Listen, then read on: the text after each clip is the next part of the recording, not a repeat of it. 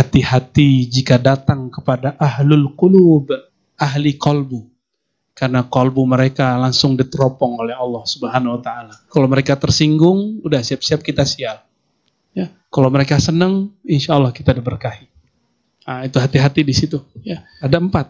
like subscribe ya. Dadah. Di tombol merah ini. Dadah. lupa like, subscribe, and komennya. Mudah-mudahan kalian semua bisa menikmati video ini. Terima kasih. Satu, bil hilmi. Tolong ini nanti diisi kolbunya dengan ini. Terus yang kedua, tadi apa? Ilm. Lawannya apa? Jahil. Jahil. Yang ketiga, yakin. Lawannya apa? Syak. Banyak ragu, banyak curiga, hati-hati. Dan yang terakhir, ar-ridwan. Ini adalah multi level marketing yang sesungguhnya. Maka jangan ragu. Memulai wakaf dengan diri kita sendiri dan ajak orang lain. Wa mala'uhu. Lalu diisi. Nah, ini yang jadi akan kita bawa pulang. Ya, ada empat. Satu, bil hilmi. Tolong ini nanti diisi kolbunya dengan ini.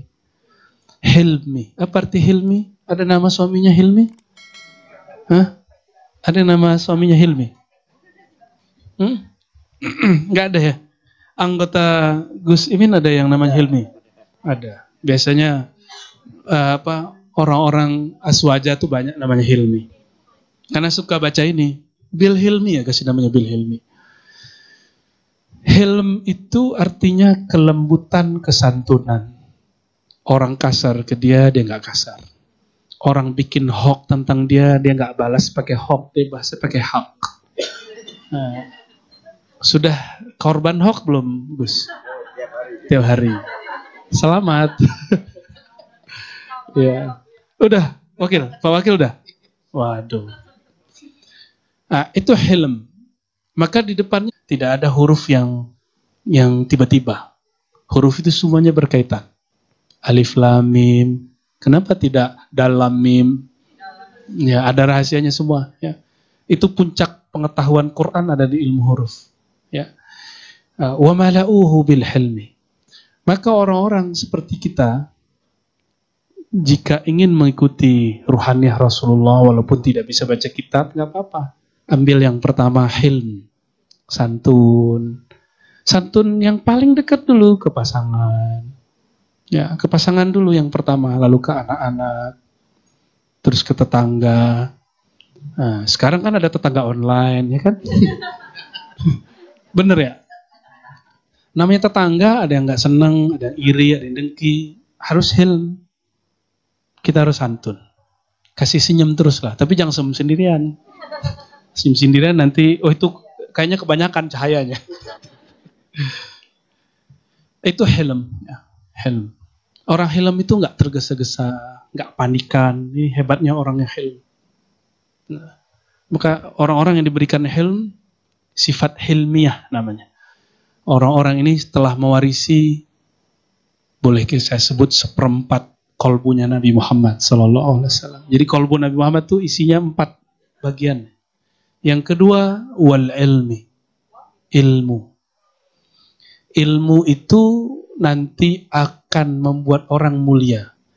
Uh, seberapa mulia seseorang, seberapa mulia yang dia tahu. Maka ilmu yang paling mulia tergantung objeknya. Lebih mulia makhluk apa Allah Khalik? Maka orang-orang yang yang mulia itu orang yang paling mengenal Allah. Walaupun dia tidak berpartai. Pasti orang partai nanti cari dia. Ya.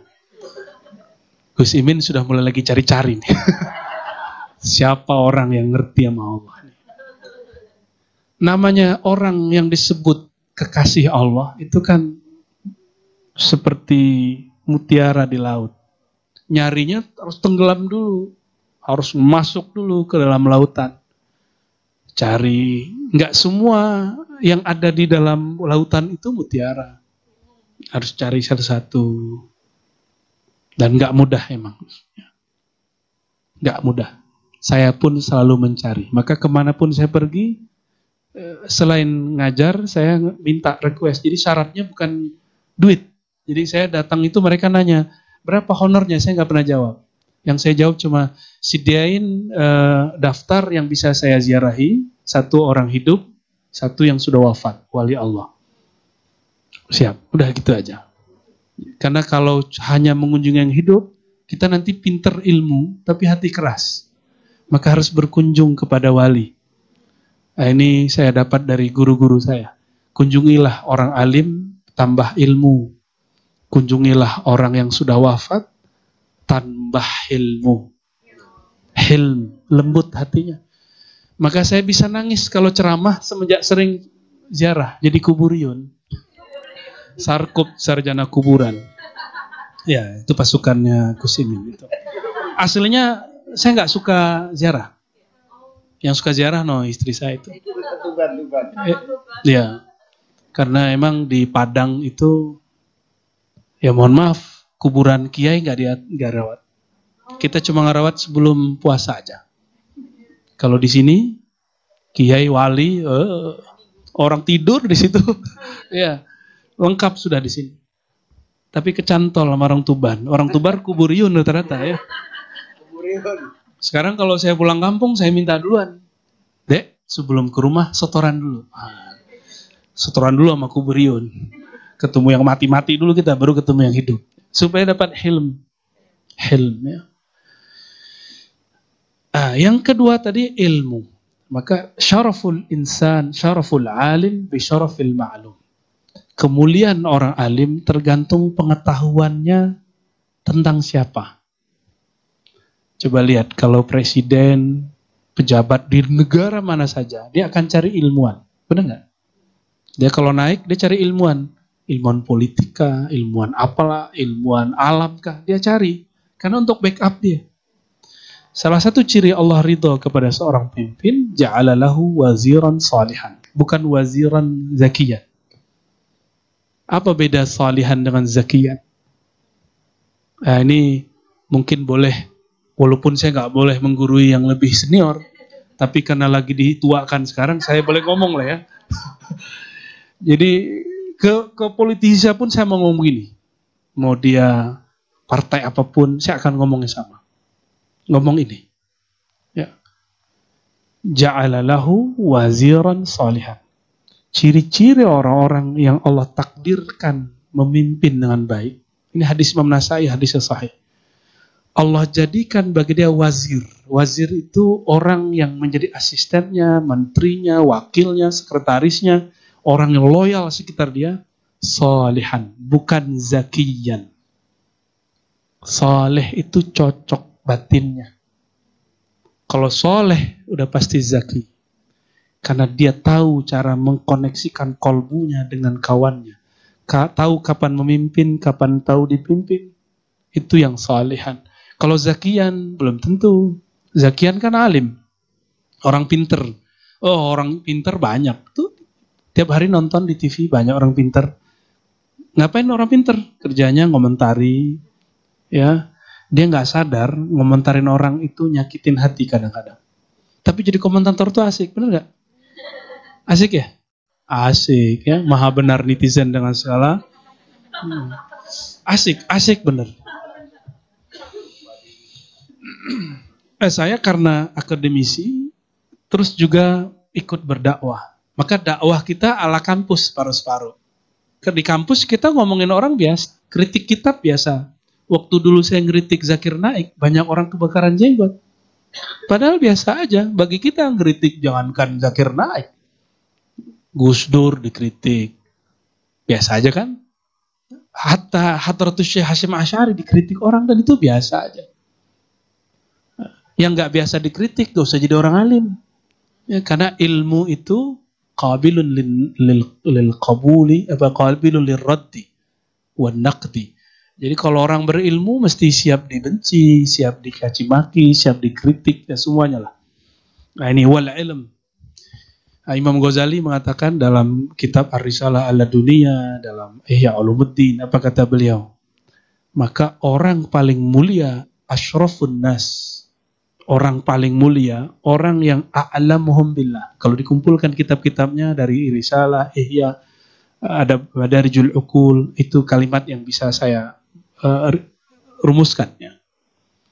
Orang paling mulia itu orang yang paling kenal Allah.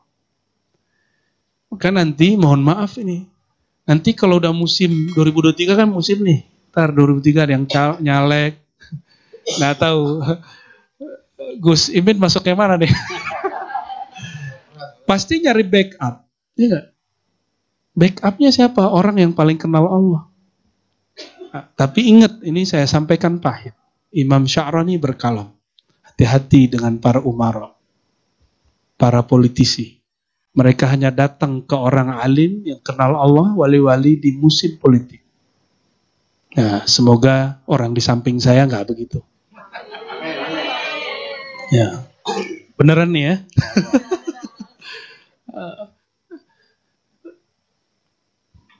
Kenapa saya berani ngomong begini? Karena saya bukan kader kader Caimin. Kalau kader kan nggak berani ngomong, bosnya. ya. Tapi kadang-kadang kalau kita nggak ngikut ke mana-mana, kadang-kadang kurang ajar juga sih ya. Mohon maaf kalau ada yang saya kurang ajari ya. Nah, ilmu ini orang-orang yang seperti ini dicari, dicari oleh presiden, dicari oleh jenderal, dicari oleh orang yang nyalek, orang yang nyalon jadi presiden, wakil, semua nyari orang ini. Kenapa? Karena kunci dunia ada di dia. Dia nggak butuh dunia, tapi kuncinya banyak. Lihatlah orang-orang yang koleksi mobil. Mobilnya nggak dipakai, tapi kuncinya dia punya. Kalau udah seneng sama dia, dia seneng sama orang itu, dia bilang, ente mau yang mana? Ambil. Itu kalau ketemu yang wali itu. Cuma tadi kan dikisahkan di situ bahwa binatang apa pun kan kalimatnya khalaqallahu taala wa lam yabqa syai'un mimma khalaqallahu taala illa ja'a li amrika ta'i'a. Ya. Semuanya kalau ketemu Nabi Muhammad patuh. Bahkan curhat. Yang curhat nggak hanya mak-mak, ke Nabi. Yang curhat tuh onta, kambing, domba, keledai. Semua curhat ke Nabi Muhammad SAW. Cuma sayangnya ini nggak punya akal. Jadi curhatnya curhat masalah perut. Jadi onta itu ngomong ke Nabi ya Rasulullah. Syahadat ya. Tapi yang diaduin apa? Perutku lapar, makanku kurang banyak, tapi tugasku kebanyakan tolong kasih tahu ke tuanku. Jadi curhatnya curhat-curhat masalah perut, masalah materi. Ini kesalahan karena dia nggak punya akal. Dan saya yakin orang kiri kanan saya ini kan aslinya kiai. Akalnya cerdas. Kalau datang ke wali, jangan ngomongin masalah itu. Masalah pilihan, nggak level. Cukup minta ridho. Ridho di dunia akhirat. Kalau Allah sudah ridho, apa pun yang terjadi nanti, kepilih nggak kepilih urusan lain. Yang penting Allah ridho dulu. Allah kalau sudah ridho, rodiyah mardiyah. Nih suami kalau dari sama istri, istri baru ngelirik barang baru, langsung tawarin, mau deh. Mau pasti gitu. Ya. Tapi ingat, Allah itu pecemburu. Allah pecemburu. Kalau yang dilirik tandingan dia, Allah bisa binasakan. Yang dibinasakan siapa? Bisa yang dia lirik, bisa dirinya sendiri. Itu semua kalam Imam Sya'rani dari kitab Al-Minan Al-Kubro. Agak sulit juga nyari bagian itu. Sekarang kalau saya rujuk lagi kitabnya nggak ketemu. Karena tebal sekali. Kita dulu membacanya waktu masih nyantri lah. Tapi sekarang Alhamdulillah masih ingat. Ternyata kalimat ini Allah simpan di kepala saya dan kolbu ya untuk mereka inilah. Baik, ya harus sampaikan kepada beliau-beliau ini, ya beliau-beliau ini. Walaupun saya nggak pantas jadi guru, jadi mualim, jadi mursyid, saya nggak pantas. Carilah kiai-kiai yang sepuh, yang khos ya. nah, yang kedua, yang ketiga, tadi berapa? Berdua, ya. Nah, ya. Berarti ilmu turunnya ke otak atau ke kolbu? Hmm, gimana? Ke otak atau ke kolbu? Kalau ke otak belagu dan ke otak bisa pikun. Tapi kalau ke kolbu dia nggak pernah pikun. Karena otak ini yang ngalangin kolbu. Tapi kalau kolbunya lebih kuat sinarnya, otak ikut. Dia bisa ingat kapan pun.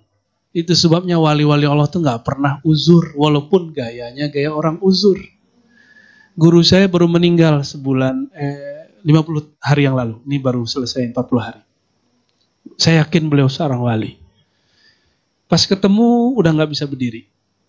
Selalu ngomong ke saya, Rozi Hashim, saya ini pemaksiat. Dulu preman Tanah Abang. Oh gitu, semua maksiat disebutin. Saya pikir, ah biasa. Ngomong lagi habis lima menit. Teman saya mikir, udah uzur kali ya. Yang ketiga dia ngomong lagi. Saya hampir terpancing mau ngomong dia ini uzur. Tapi ketika batin kita tanya, wahai kolbuku, coba baca isi kolbu dia. Oh ternyata kolbunya lagi nguji kolbu saya. Ya, bisa. Kan kolbu mau kolbu nyambung. Ya, bisa lewat kedipan mata, bisa lewat rasa. Nah, rasa ini yang mahal. Ya. Kadang kalau mata nggak ngelihat, tapi kolbu kolbu bisa lihat. Ya. Walaupun dia jauh.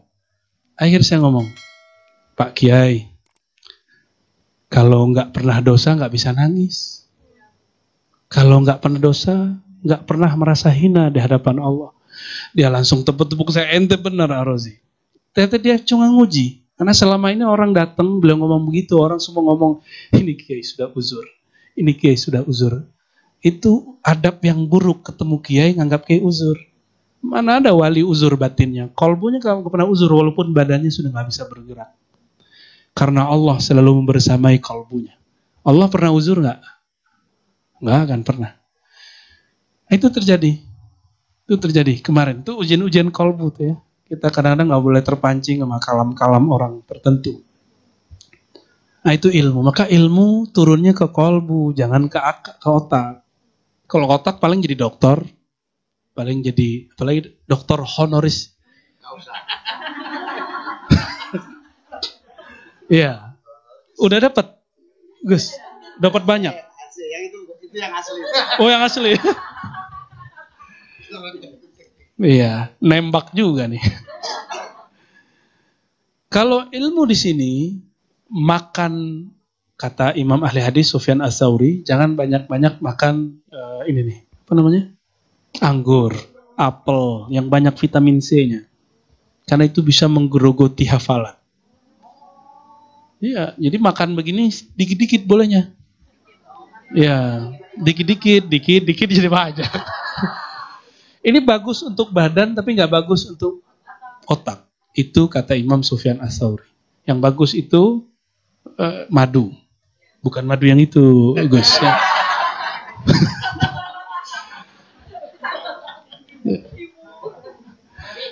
Amin gitu.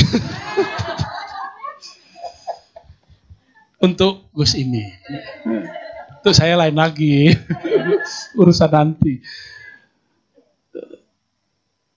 Jadi ilmu ini kalau hanya mengandalkan hafalan, kita harus ngerawat makanan. Jadi ahli hadis dulu, nggak sembarangan makan. Agar riuh ketemu ahli hadis dulu. Lu ribet makannya nggak boleh ini. Kayak food combining itu. Kayak vegetarian, kayak apalagi macam-macam tuh sekarang alirannya kan banyak. Jadi ketemu mereka tuh kayak, aduh ribet amat sih enti gitu ya. Harus makan ini, harus makan itu, nggak boleh ini, nggak boleh itu, nggak boleh minyaknya kebanyakan, nggak boleh pakai micin. Dulu saya begitu. Sekarang mah hajar aja. hajar aswat. Kalau sudah ke kolbu, dia tersimpan dan itu akan lama. Ya, dia hanya pergi kalau orangnya mati. Itu yang disebut di hadis. Allah itu nggak pernah cabut ilmu mendadak dicabutnya bikobdil ulama. Kalau ulamanya dicabut. Karena kalau dicabut, kolbunya juga ikut pergi. Itu maknanya. Ya, hati-hati sama ahlul qulub. Kata Syekh Sulaiman Zuhdi, mursyid Naqsyabandiyah di Mekah, terakhir beliau. Terakhir di Mekah, habis itu Wahabi berkuasa di Mekah. Eh, kata beliau, hati-hati jika datang kepada ahlul qulub, ahli kolbu karena kolbu mereka langsung diteropong oleh Allah Subhanahu wa taala. Ya, kalau mereka tersinggung, udah siap-siap kita sial. Ya, kalau mereka senang, insya Allah kita diberkahi. Nah, itu hati-hati di situ. Ya, Makanya saya juga kalau ketemu kiai itu hati-hati. Ya, kalau ketemu kiai nggak usah lama-lama. Bentar, kecuali beliau yang suruh lama. Cara kita jaga adab ke mereka. Ya. Terus wal yakin. Yang kedua, yang ketiga, yang Allah berikan ke dalam kolbu baginda Nabi Muhammad SAW, al yakin. Apa arti yakin? Yakin itu puncak dari positive thinking. Ya. Selama ini yakin artinya apa? Hmm? Beda dengan percaya. Beda dengan percaya. Percaya itu tasdik, membenarkan. Yakin itu ada tingkatnya. Ada yakin teoritis namanya ilmu yakin. Kata orang. Ya. Ada yakin yang sudah mujarab, tapi mujarab di orang belum di kita, namanya ainul yakin. Kita cobain sendiri, baru percaya, namanya hakul. Tapi nggak dikasih embel-embel al yakin, ini yang lebih tinggi. Ya, maka dia puncak dari positive thinking. Ya, maka di Quran wa'bud rabbaka hatta ya'tiyakal yakin. Bukan hatta ya'tiyaka hakul yakin. Karena al yakin tanpa ilm, tanpa ain, tanpa hak itu puncaknya. Ada dulu di PT IKI ngaji begitu. Oke. Pasti Syekh Ibrahim Hussein pernah bahas ini. Ya, kayaknya beliau sudah mulai lupa. Karena taruhnya di sini. ya, enggak, ini beliau naruhnya di kolbu, tenang aja. Tadi ngobrol-ngobrol sama saya masih keluar kok mutiara-mutiaranya. Al yakin ini harus punya murabbi, pembimbing rohani. Dan dia harus ada contohnya. Kalau nggak ada contohnya, ini yang membedakan ahli zikir berguru dengan ahli baca buku sendiri. Itu bedanya orang otodidak dengan orang berguru. Orang yakin ilmu nggak usah banyak. Hujah dia nggak usah banyak, dalil dia nggak usah banyak. Dia nggak perlu banyak hafalan. Tapi kalau dia punya contoh, dalil dia ada gurunya sendiri. Karena guru itu mencakup semua dalil. Ya. Ini kalau dibuka nih kolbu kiai itu banyak dalil di dalamnya. Kalau saya dalil keagamaan, kalau sudah jadi politisi mungkin dalil-dalil berpolitik. Ya. Wallahu alam bisawab. Ya, ada dalilnya, Gus ya. ya, ada rumusnya pasti. Ya. Kok sebanyak itu santri kok beliau-beliau aja yang naik kan? ya, banyak santri yang mau naik, nggak bisa karena nggak ngikutin dalil berpolitik. Dia pakai dalil kitab kuning aja. Padahal di kitab kuning bagian begini antum a'lamu bi umuri duniakum. Nah, dunia itu ya tata gayar. Dunia berubah-berubah. Kita harus ngalah lah berdamai dengan dunia. Nah, al yakin nggak perlu banyak jidal debat. Yang penting punya guru. Maka walaupun sudah masyhur, sudah punya jabatan, ibu-ibu ini sudah mateng, sudah mantap secara materi, imaterinya, rohaninya harus punya guru. Kalau zohirnya bergantung kepada mungkin suami, kepada pekerjaan, usaha, batin juga harus bergantung bantu kepada yang batin, Allah Subhanahu taala. Coba lihat, yang paling takut pandemi kemarin orang kaya apa orang miskin? Orang kaya, buang aja kekayaannya kan, kasih kita aja. Loh, kurang apa hebatnya? Kekayaan itu kok masih ketakutan? Orang miskin santai-santai aja kita lihat jalan. Nggak pakai masker, bahkan nggak ada booster dia. Dan kematian mereka sedikit. Yang banyak mati orang kaya, mati ketakutan. Apa yang kurang di mereka? Al-yakin. Yakin inilah booster yang sebenarnya. Ilmu yakin ini yang saya kupas selama pandemi. Tapi itu sudah kita tutup pelan-pelan cari-cari sendirilah. Dan channelnya sudah ditutup juga, jadi ada channel kajian hikam dulu, Gus. Itu kajian-kajian ilmu yakin dan sudah sudah ditutup. Hanya untuk membersamai selama pandemi. Untuk karena ketika orang belum ketemu booster yang zahir, harus kasih booster yang batin. Biasanya ngaji hikam hanya di pesantren-pesantren, sekarang itu ngaji hikam di YouTube. Kan canggih tuh, menurut saya. Ya, oh banyak yang marah sama saya. Loh, hikam kamu kok bawa-bawa ke YouTube? Loh, emang salahnya apa? Ya, salah nggak? Jangankan hikam Al-Quran jadi bawa ke YouTube. Lebih mulia hikam pak Al-Quran? Iya. Ada orang marah-marahin saya uh, bicara tentang Abah Guru Sekumpul. Tahu Abah Guru Sekumpul? Uh, saya ente nggak pantas ngomong Aba Gurus Kumpul. Saya jawab, lebih mulia Nabi Muhammad apa Aba Gurus Kumpul? Nabi Muhammad, ente aneh boleh ngomong tentang Nabi Muhammad dan dia lebih mulia dari Aba Gurus Kumpul. Masa saya Rozi cinta ke Aba Guru nggak boleh cerita dia? Masuk akal juga sih. Nggak usah pakai dalil kalau mereka mah. Nah itu bil ilmi itu ya. Main-mainan akal aja itu. Sok pinter gitu.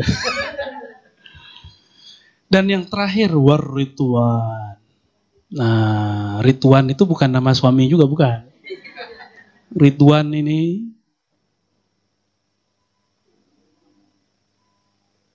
takdir buruk, takdir baik bagi dia sama. Itu disebut ridho. Itu perkataan yang saya nukil dari kitab Hadaikul Haqaik dan juga Ar-Risalah Al-Kusyairiyah. Jadi takdir khair atau syar, hul atau mur itu bagi dia sama.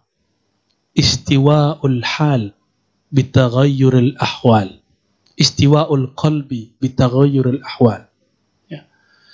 Kolbu itu tetap stabil, tetap kalau orang Jawa bilangnya apa kalau nerimo ya? Nerimo. Ridwan itu lebih canggih dari nerimo. Kalau dia bukan saya nerimo, kayaknya masih berat. Ridwan itu bukan itu. Ya Allah suka-sukamu. Seridho-ridhomu. Semau-maumu. Yang penting aku tetap jadi hambamu. Itu, itu Ridwan. Maka Nabi Muhammad anaknya Sayyiduna Ibrahim diambil. Ya kan? Putrinya cantik-cantik, dua wafat. Yang sisa cuma satu, Sayyidah Fatimah. Satu lagi Qasim atau Abdullah atau disebut juga Tayyib. Juga Allah panggil. Jadi ujiannya Nabi nggak ada apa-apanya ujian anak saya diambil satu. Anak beliau diambil semua kecuali satu. Maka Nabi ketika gendong cucunya, anaknya, beliau terisak-isak. Bertanya Abdurrahman bin Auf, Mahbika ya Rasul, apa-apaan nih, kok Rasul nangis gitu. Bagi dia Rasul nggak pantas nangis. Dia bayangin Rasul itu tegas. Ternyata Rasulullah kolbunya lebih lembut dari perempuan. Ya, ibu ini lembut nggak bu? Paling lembut.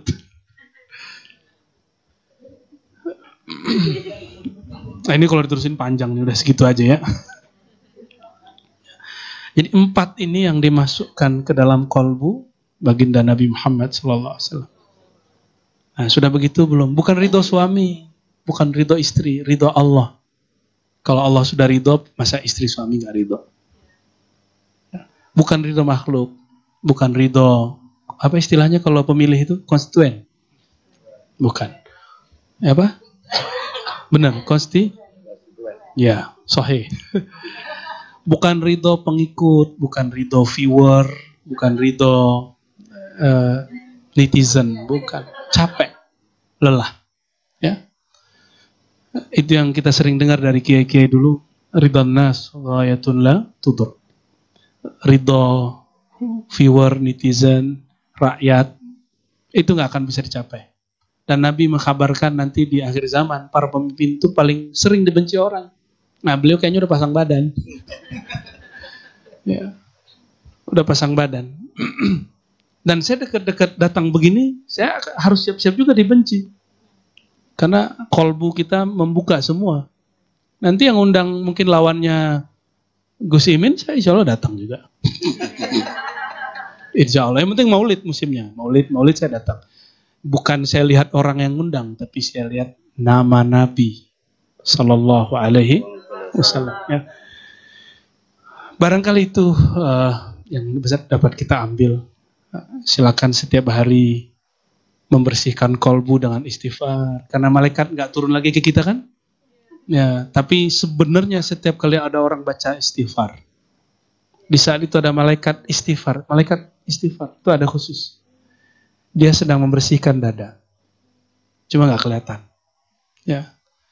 Apa buktinya? Lihat kalau saya mimpin talkin. Ya.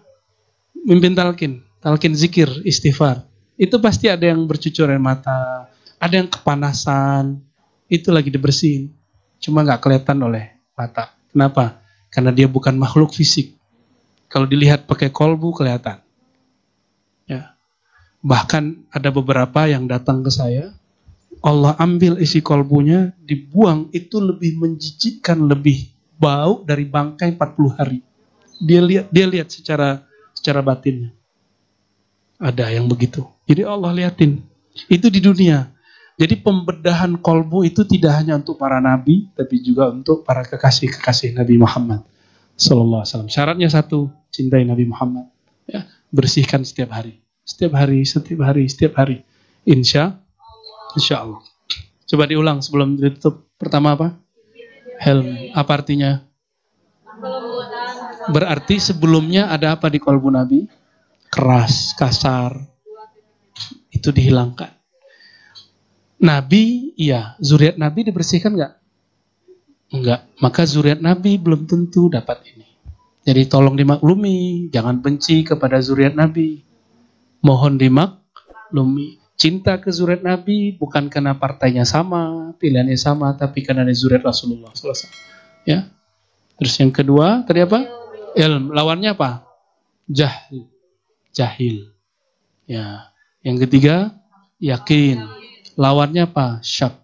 Banyak ragu, banyak curiga, tuh hati-hati. Yang curiga sama lakinya. Kurang-kurangi yakin ke Allah. Suami, istri nggak bisa jaga kecuali yang zohir-zohir. Serahkan penjagaan mereka kepada Allah. Ya. Uh, seneng banget nih Kiai dibilang gitu. Merdeka, merdeka. Merdeka. Dan yang terakhir ar-ridwan. Berarti lawan ridwan apa? Rela lawannya apa? Nggak rela. Nggak rela itu apa? Nggak rela itu bahasa Arabnya apa? Ridwan itu lawan ridho. Itu ghadab, marah-marah. Apalagi suuzon, buruk sangka. Itu dia. Nah, ini yang di- dicopot dari kolbu Nabi. Semoga dengan kita buat maulid, Allah kemudian membersihkan kolbu. Ya, lalu diisi dengan empat sifat ini. Amin ya. Mohon maaf nih para kiai, saya sudah menggurui para bunyai, ya, tapi memang wajib menggurui. Nah, walaupun nanti kita tidak satu partai, tidak satu coblosan, semoga kolbu ini masih berkawan. Ya, mohon maaf dari saya. Selamat berjuang. Assalamualaikum warahmatullahi wabarakatuh. like subscribe ya. Dadah. Di tombol merah ini. Dadah. Lupa like, subscribe, and komennya. Mudah-mudahan kalian semua bisa menikmati video ini. Terima kasih.